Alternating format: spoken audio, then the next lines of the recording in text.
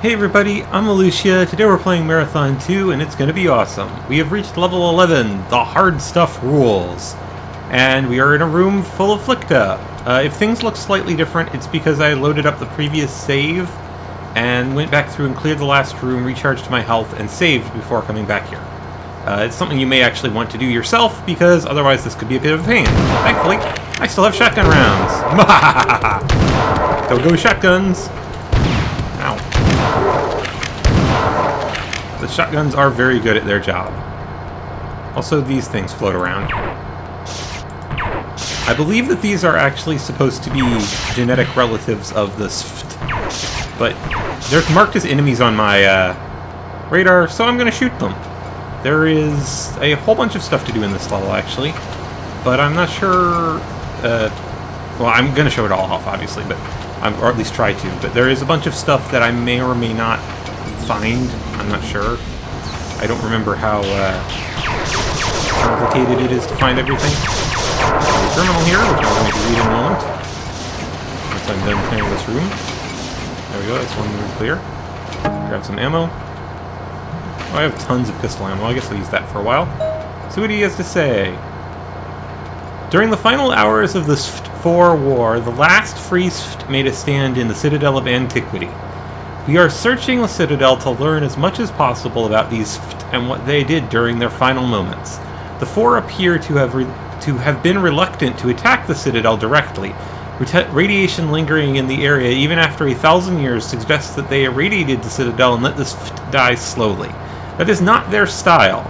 Each of the ten clans was represented here, and I hope they that they discovered something before they were over before being overrun by the Pfhor. Find as many computers as you can so that I may search them for useful information. So our goal is simply to explore the level and read all of the terminals in the level. Which is good because there's like six or seven of them and I don't want to miss any of them. So hopefully we won't miss any of them.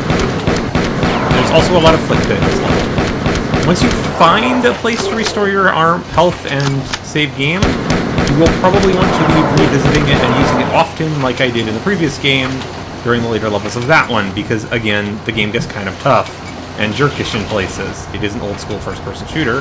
Oh, hey. There's a bunch of ammo over here and a health restore. That's very convenient.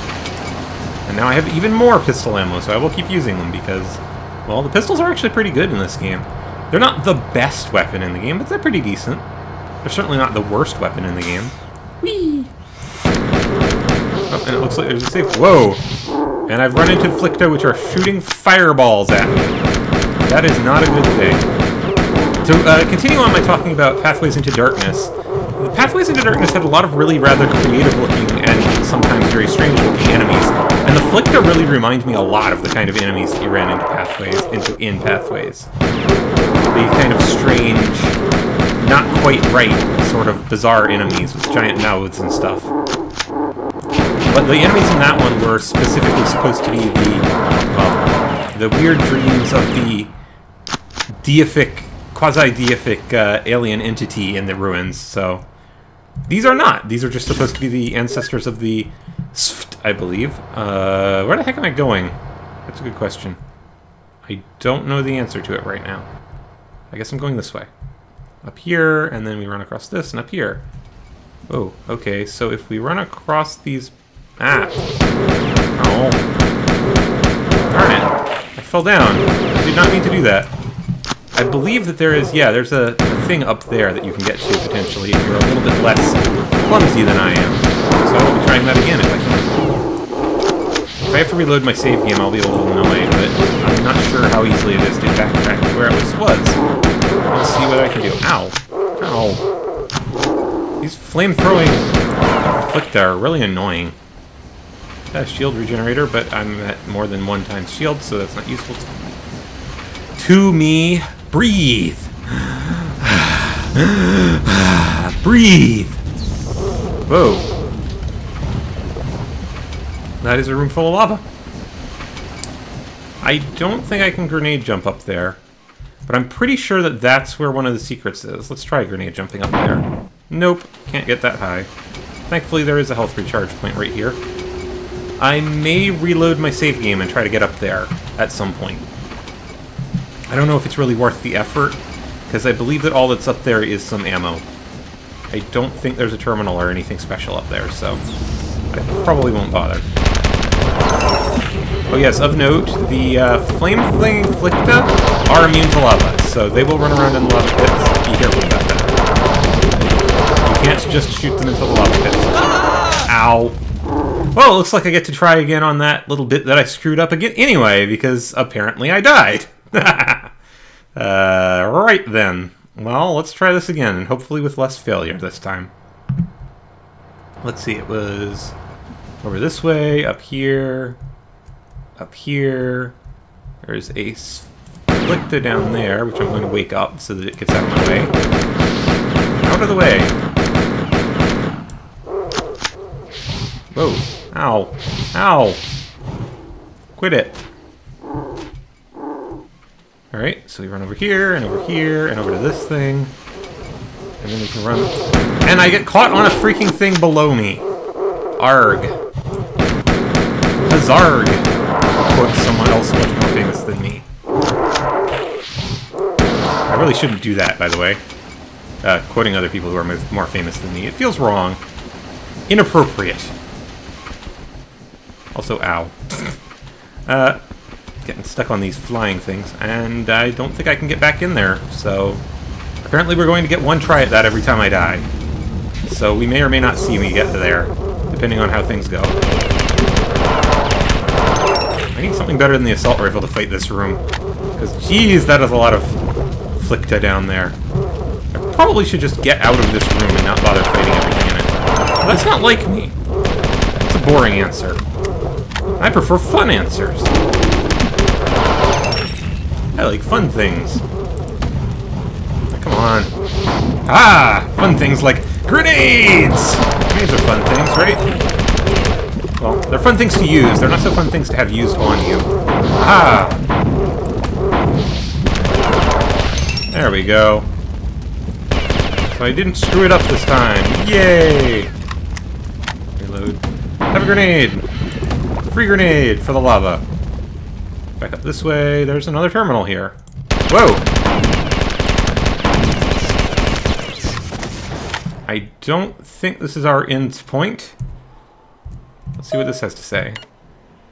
Oh, this is the same uh, message that we got last time we found one of Durandal's terminals, so... Whoa! Ah! There's an elevator over there, which I do not particularly want to ride, thanks. I hear a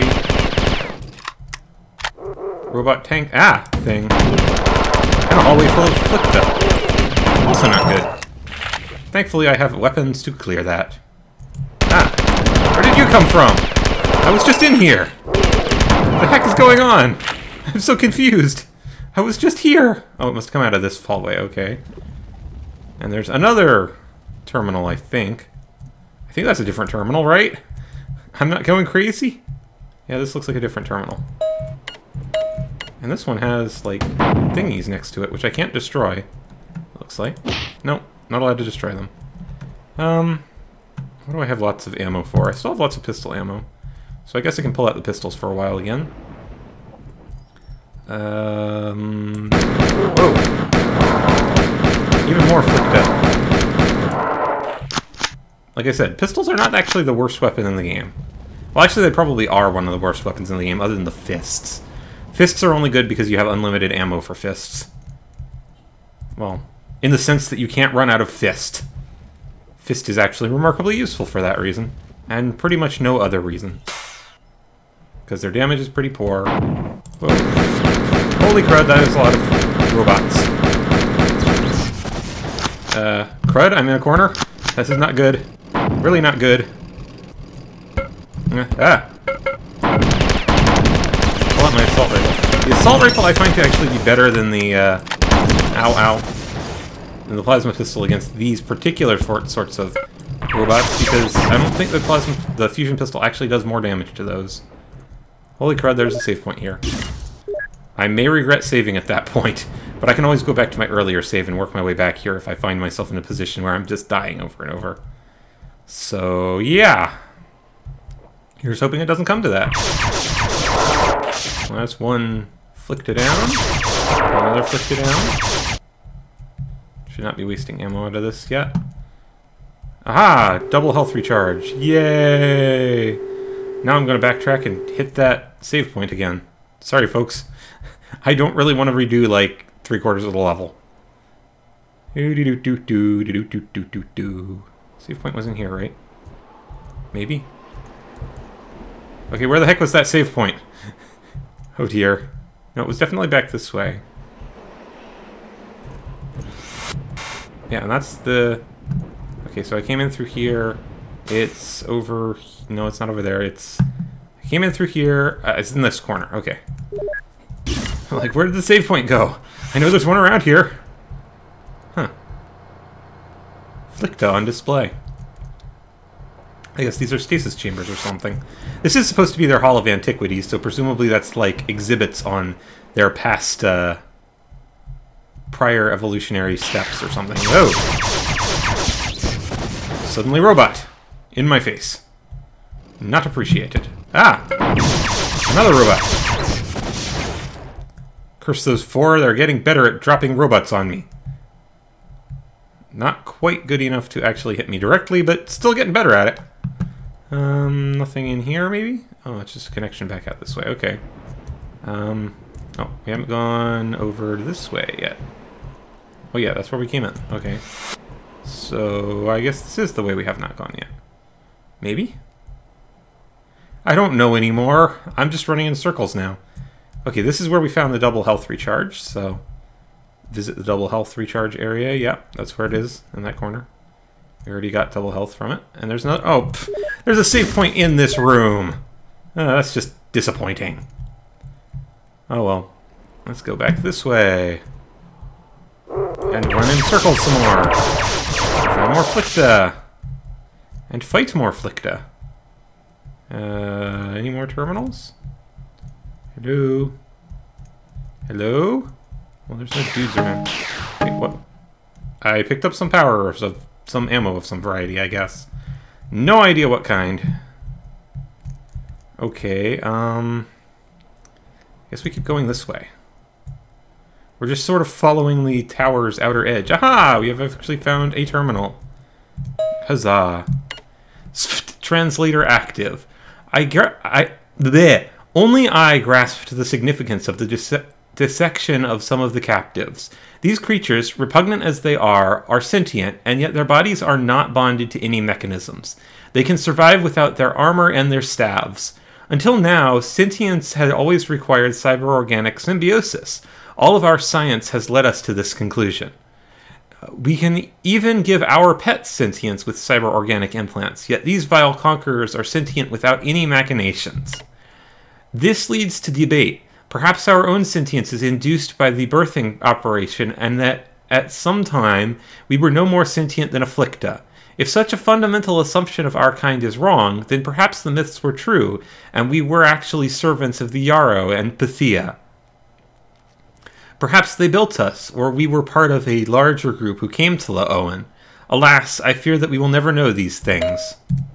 So here we have a little bit of information about the backstory of the which is kind of what you would expect to find in a museum of antiquities. That they are cyber-organic, and that as part of the process of their birthing, they are bonded to a cybernetic uh, apparatus which gives them sentience. And the implication is that without that cybernetic uh, implant, that they would in fact not be sentient, and more so than that, that they would probably be not alive. The uh, cybernetics that augment them are necessary to their life cycle at this point. And that they were probably engineered into this state by the Yara, who you remember we were we saw mentioned earlier on in the game. Last level, I believe. So we've got more terminals over here, which I don't think I can actually interact with. Ah, there's one. The beasts stop at attacking, running for their pods. We thought they meant to surrender, but then the bombardment anew the burning air. We're evacuating the lowest levels of the Citadel, but eventually it will reach us there too. I've received a lethal dose. I feel like the Hfrarktal after its mating, his mating dance ends. Okay. No idea what that means. Presumably it's a reference to some kind of life form native to this planet. Report to leader, questionable surgical procedures. And if that wasn't enough, the vile bipeds removed his sensory organs in order to make room for the small oblong object that they installed in his face. They didn't even do it as a separate operation. I guess they figured since the object would displace them anyhow, why bother? The thing that confused me, though, was how they did it. It wasn't standard procedure, though, I can tell you that. Report to leader. Questionable surgical procedures. Only one surgical instrument was used during the procedure the device that held the small object. They tried to make an incision in which they placed the object with their knuckles several times before giving up and inserting the object anyway, and it was inserted at a rather high rate of speed, but I guess that was to ensure the total displacement of the sensory organs occurred. So, yeah, that appears to be an image of what is probably supposed to be a S'pht having something jammed into its face, but what they are putting there, I don't know, and why, I'm not certain. And this terminal's not yet working, and here's one that looks like it's working. Uh, Ulder foretold of the closing of the Citadel windows, and we made his vision true. Then Older foretold of our victory, and we crushed the bipeds. Again, these beasts come here and fight against the ancient walls of the Citadel, against all the clans in unison. Our monolith will never fall. Never have so many of us been guided so quickly and resolutely. To breathe here is to understand unity. Leader told me that the Ulders began mending, melding days ago. We can all feel the effects of this. The angry air of Lh'owon has at last been cleansed. I miss the marshes of Manur and the seven of mine. I am sure they are gone into the fires. So the so that is presumably the record of a S'pht who had seven children, which had been killed by the Pfhor and their home place, the marshes of Manur. And it also tells us more of what we knew from before that these appear to be some kind of hive mind or something similar that the elders were controlling. And the elders of each clan were merging together into a single mind to fight against the uh, Pfhor, basically joining the clans together in order to ensure that they could fight beat the Pfhor, but it doesn't appear that they succeeded because they ended up as slaves of the Pfhor. But we know that they're slaves of the Pfhor because the Pfhor took advantage of their psychic link, most likely. That that is how the Pfhor enslaved them properly. Because you remember we killed the cybernetically modified Pfhor who was controlling this in the first game, and that released them from their control. So presumably they have other such beings in other places that are controlling that additional Pfhor, which is why the ones here are fighting us, even though the ones on Durandal's ship are our friends. So, there's that. Freaking giant robot. No, not giant, but freaking robots from nowhere. This place is complexly built. Like, really, really complicated. I don't know where I'm going. Uh, well, there's this thing, which is not a door. It doesn't look like there's anything else up on this floor. I would have thought that there would be, but it doesn't look like there is. So I think we backtrack and see if we can figure out where the uh, nearest Durandal terminal is, and maybe hit a save point on our way back. Because I think that this room was all we had to find, was those terminals that we just finished reading. And this terminal, probably. Probably. I don't know for sure. Uh, let's see. The shortest route is probably back down this way. Yep, and there's Durandal Terminal. Uh, before we go, though, I want to see if I can remember where the save point and health recharge were upstairs. There's an area of this level I haven't been in, which worries me. But I'm not sure how to get to it either. Hmm. Let me try something. Because there's an area down here. No, not that way. Through here and then off and around and... Oh, ah, no, I don't want to ride that. I want to go this way. There's an area on my map which appears to be off in this direction. Off that way. Hmm. That's odd. I'm not sure how to get there. That's very odd. Huh. Okay, let me go and see if I can figure out where that times two health thing was and the save point and see if I can get those to get used to be able to leave this level at full health and uh, well there's a save point here so let's save here I'm going to go and read that terminal again and see whether or not it has changed to be the exit terminal now. It is! Battle Group 7 arrived sooner than I expected. The Pfhor fleet consists of seven corvettes similar to my own, four destroyers, a battleship, and an assault carrier. They are passing the orbits of the outer planets now, heading for Lh'owon.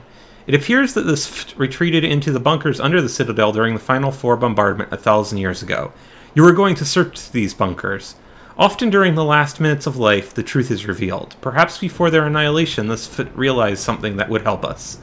Be warned that the approaching Pfhor Fleet has already begun to reinforce their Lh'owon garrison by long-range teleport transport. That is presumably why there have been more things appearing. And we get a nice little neat uh, diagram of the Pfhor Battle Group 7 coming to intersect Lh'owon.